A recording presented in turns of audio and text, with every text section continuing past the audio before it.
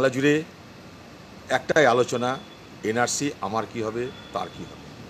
আমরা যেন অন্ধকারে দৌড়ে না বার হই।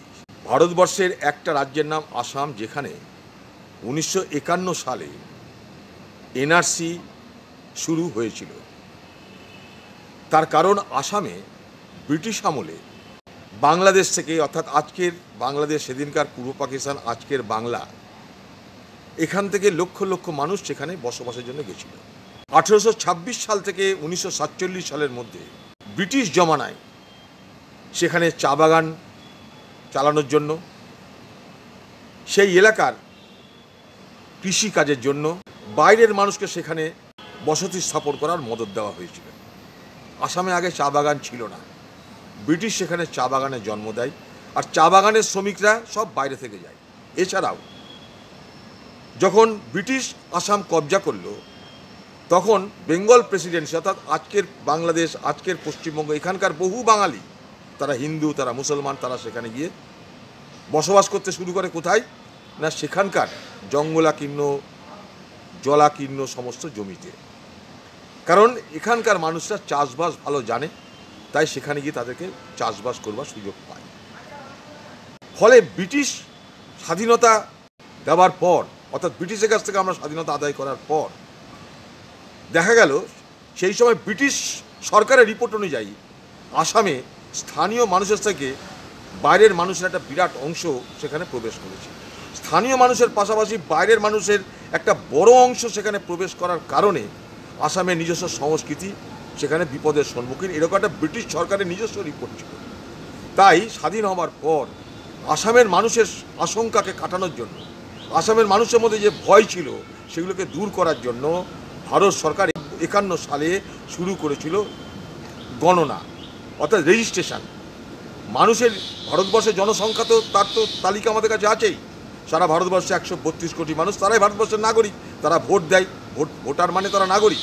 কিন্তু তার পাশাপাশি আরও কিছু কিছু বিষয় আসামের জন্য প্রযোজ্য হলো।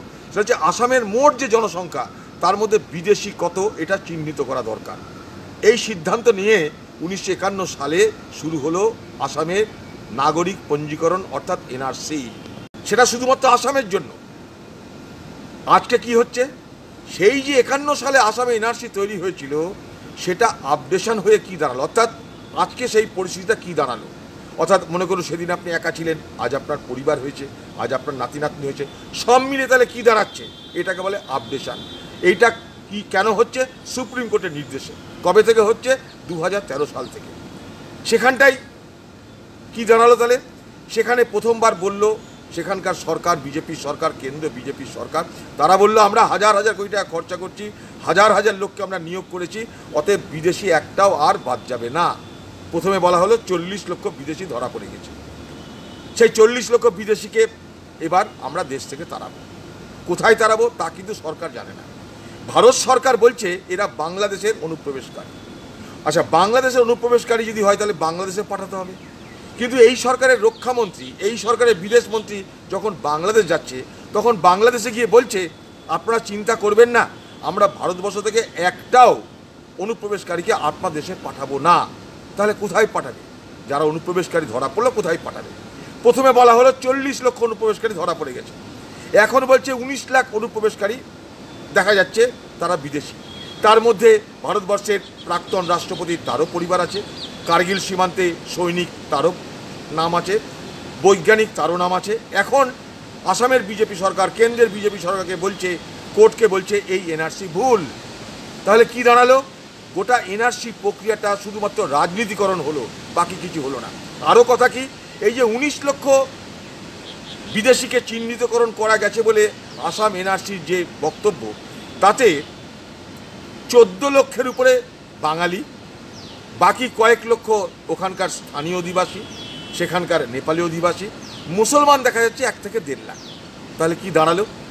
মুসলমান সব দখল করে নিচ্ছে, বিদেশিরা সব দখল করে নিচ্ছে বলে যে চিৎকারটা করা হয়েছিল সেটা সঠিক না আরও বড় কথা, আসামে কিন্তু, আসামের যে এনআরসি তার লক্ষ্য হচ্ছে শুধু মুসলমানদের তাড়ানো নয়, তার লক্ষ্য যে সেখানকার সমস্ত বাঙালিদের তাড়ানো। সেই বাঙালিরা হিন্দু হতে পারে, সেই বাঙালিরা মুসলমান হতে পারে। সমস্ত বাঙালিকে তাড়ানো তাদের লক্ষ্য। এটা যেন আমরা বুঝতে ভুল না করি। এক, দু নম্বর এনআরসি যে করবে, যারা বলছে এখন বাজারে যে আমরা এনআরসি করব। তো এনআরসি করতে গেলে কিসের ভিত্তিতে হবে? আসামে তো একটা ভিত্তি ছিল। কারণ আপনি উনিশশো পঞ্চাশ সালের ভারতবর্ষে যদি সংবিধান রচিত হয়, সেদিন থেকে আপনি ভারতবর্ষের নাগরিক। ভারতবর্ষের যে সংবিধান, সেই সংবিধানের পাঁচ অনুচ্ছেদ অনুযায়ী আপনি ভারতবর্ষের নাগরিক। উনিশশো পঞ্চাশ সালের ভারতবর্ষের সংবিধান, উনিশশো পঞ্চান্ন সালের আইন সংশোধন করে আপনাকে ভারতবর্ষের নাগরিক দেওয়ার অধিকার দেওয়া হয়েছে। এই অধিকার কেউ কেড়ে নিতে পারে না। এটা আপনাকে অধিকার দিচ্ছে রাষ্ট্র। আপনি হিন্দু, মুসলমান, শিখ, খ্রিস্টান, যাই হন, আপনার অধিকার কেউ কেড়ে নিতে পারে না। তাই আপনি ভোট দেন, তাই আপনি রেশন কার্ড পান, তাই আপনি এখানকার স্কুলে পড়েছেন, তাই এখানকার কলেজে পড়েছেন, এখানে চাকরি করছেন। তাহলে কিসের উপর ভিত্তি করে আপনাকে বিদেশি পড়বে তারা? অতএব এটা কিছুই না, এটা একটা নতুন করে একটা রাজনৈতিক উন্মাদনা তৈরি করা হচ্ছে। এইবার ভোট আসছে, এইবার দেখে নেব। দু হাজার চোদ্দ সালে নরেন্দ্র মোদী বলেছিল পশ্চিমবঙ্গে গিয়ে যে যারা বাংলাদেশের লোক, বিস্তারা বাঁধলো। যারা বাংলাদেশের লোক, তাদেরকে বলেছিল, তোমরা বিছানাপত্র বেঁধে নাও, মোদি ক্ষমতা আসছে, তোমাদের বাংলাদেশ চলে যেতে হবে। তো আজকে তো উনিশ সাল। কেন্দ্রে এখন পর্যন্ত ভারতবর্ষের পার্লামেন্টে এনআরসি নিয়ে তো કોઈ আইন আনলো না। তার কারণটা কি তারা জানে যে এগুলো দিয়ে রাজনীতি করা যেতে পারে, কিন্তু এগুলো দিয়ে দেশের অন্য কিছু করা যেতে পারে না। সব সময় একটা দেশের মধ্যে উত্তেজনা তৈরি করো আর রাজনীতি করো। কখনো বলছে, ভারতবর্ষে জাল নোট বাতিল করে দিলাম, নোট বাতিলের মধ্যে দিয়ে আর জাল নোট কেউ পাবে না, আর দুর্নীতি হবে না, বাজার গরম হয়ে গেল। কখনো বলছে জিএসটি চালু করে দিলাম, আর অভাব হবে না। কখনো বলছে, তিনশো সত্তর ধারা কাশ্মীর থেকে উঠিয়ে নিলাম, আর দেশের কোনো অসুবিধা থাকবে না। দেশ শান্ত হয়ে যাবে। এখন বলছে এনআরসি করে দেবো, দেশ শান্ত হয়ে যাবে। অর্থাৎ সরকারের কাছে মানুষের যে মৌলিক সমস্যা, চাকরি, খাদ্য, বাসস্থান, সড়ক, হাসপাতাল, এগুলো নিয়ে কোনো কথা নাই। বাজার গরম করে শুধু রাজনীতি করো আর রাজনীতি করে ভোট নাও। বাকি কোনো তাদের কাছে, তাদের কোনো চিন্তা নাই। তা যদি হতো তাহলে আসামে তোমরা এখন বলছো কেন যে আসামে ভুল হয়েছিল? তোমরা এখন গালিগালাজ দিচ্ছ এনআরসিকে তো যে বিজেপি এনআরসিকে আসামে গালিগালাজ দিচ্ছে সেই বিজেপি বাংলায় বলছে চালু করব উত্তরপ্রদেশে চালু করব, কিসের ভিত্তিতে চালু করব আমাদের জানানো হোক, কিসের ভিত্তিতে? কোন বিচারে একজনকে বিদেশি নাগরিক বলা হবে, তার তালিকা, তার কারণ দেখাও। এই করতে গিয়ে কি হয়েছে? আসামে তারা তাদের মুখ কালো হয়েছে, সারা ভারতবর্ষে তাদের মুখ কালো হবে। তাই মুর্শিদাবাদের মানুষ, মনে রাখবেন, আমরাও আছি। আমি নিজে অধীর চৌধুরী, আমার পরিবারের বাংলাদেশে বাড়ি। যদি বিদেশি হইতো, আমি অধীর চৌধুরী, প্রথম বিদেশি।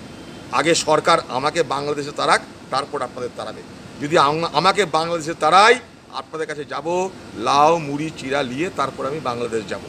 আমার পরিবার বাংলাদেশের, আমার বাবা মা বাংলাদেশের, এখন আমার পরিবার বাংলাদেশে আছে।